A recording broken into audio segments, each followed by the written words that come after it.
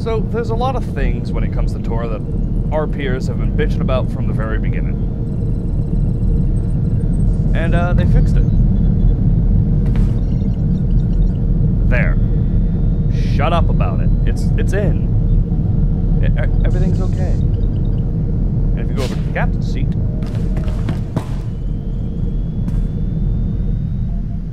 Ta-da! You're a captain! immersion.